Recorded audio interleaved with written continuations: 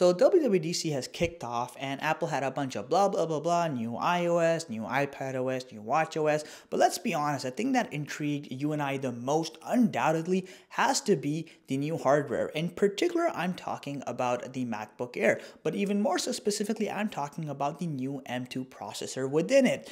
I mean, seriously, the M2 processor has come out in a very interesting time. It wasn't all that long ago Apple announced their higher end M series products like the M1 Pro, the Max, and respectively the Ultra. And now the M2 comes and it kind of beckons the question what is it supposed to replace? Is it replacing the existing M1? But if it is, is it going to be better than the M1 Pro? And where is it going to kind of fall? Which kind of created this very interesting predicament for Apple. So, not as officially out, we're going to take a deep dive and see exactly what the M2 is trying to achieve, and whether or not it's even in the right timeline. First things first, the M2 chip is technically speaking the direct successor for the M1 chip. So according to Apple's own website, it's up to 1.4 times faster than the existing chip. Not only that, you can configure it all the way up to 24 gigabytes of RAM or unified memory and with up to 2 terabytes of storage.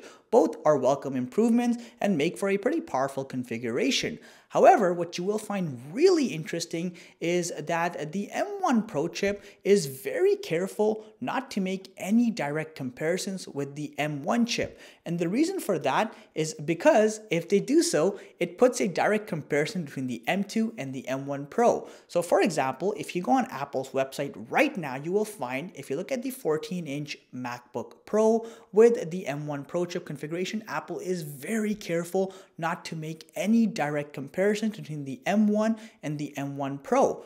This is done deliberately so because if they do so, then people will start saying, okay, how much better is the M2 or how much less better is the M2 compared to the M1 Pro when compared against the M1 chip? And this could potentially invalidate the need for the M1 Pro chip entirely, which really isn't all that old. And it is the bread and butter configuration for the higher end 14 and 16 inch MacBook Pros. So Apple's in a bit of a predicament where we gotta make the M2 better than the M1, but we gotta be careful just how much more better it is because otherwise it makes the M1 Pro look outdated and obsolete. Now make no mistake, of course Apple will release updated iterations of the M2 with the M2 Pro and the Ultra and probably the Max as well, but those are gonna come later on, probably much later on the year to be exact. Right now, the M1, oh sorry, the M2 has to be limited. Furthermore, Apple was also careful to ensure that the M2 has a maximum support of 24 gigabytes of RAM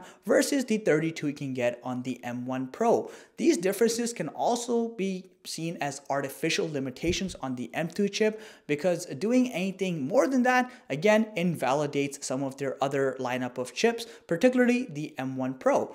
So definitely interesting stuff. Now, putting that aside, I think the MacBook Air is definitely a well redesigned product. I appreciate the fact that they've gone with a more traditional look as opposed to that teardrop design. So definitely lots of cool stuff happening. I will cover that in a separate video, but let me know what you guys think about the M2 chip. Do you think it's a fair improvement? Do you think it's in an awkward position? Or do you think that Apple has done more than enough with the M2? It's overkill. I want to hear all your thoughts in the comment section below. Thanks for watching. Catch you in the next one.